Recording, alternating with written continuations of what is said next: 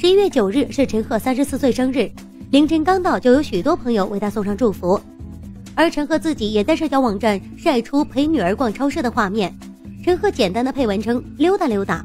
视频中，陈赫一身休闲打扮，戴着口罩陪女儿逛超市选购东西，而跟在爸爸身边的安安则是扎着马尾，身穿白色毛衣，搭配着牛仔裤，十分的淑女。虽然这一次视频中安安依旧没有露出正面照，但是仅从侧面和背面来看。安安是完全遗传了爸爸妈妈的好基因。另外，在女儿选购产品的时候，陈赫还不时用手抚摸女儿的头，父爱满满。和爸爸一起逛超市的安安看到奇趣蛋之后，也是停滞不前，直接在爸爸的引导下选购了起来。随后，父女俩买完了各自所需的东西。